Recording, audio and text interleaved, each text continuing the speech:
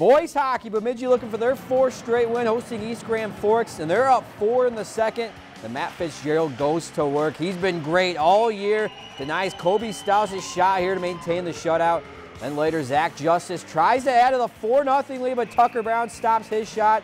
Not a lot going on in that period.